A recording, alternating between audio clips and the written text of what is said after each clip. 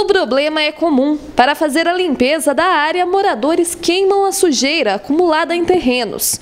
No bairro Jardim, Califórnia, o aposentado reclama da falta de educação dos moradores. Este terreno pertence à Companhia de Abastecimento de Água do município, uma área restrita. Próximo ao rio Sapucaí, é possível ver as cinzas que restaram. Eu tenho alergia, tenho bronquite, asma. Quando chega a noite é horrível para a gente dormir. No bairro Xangri-Lá, no fim da rua Graziela Rezende, a situação é a mesma.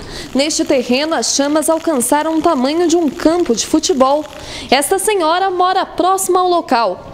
Conta que não sabe quem provocou o fogo, mas admite que o marido dela também já adotou a prática. Há oito anos atrás, meu marido chegou a pôr. Se põe fogo, não é ele mais, é outras pessoas. De acordo com o Código de Posturas do município, o proprietário do terreno tem o dever de manter o local limpo.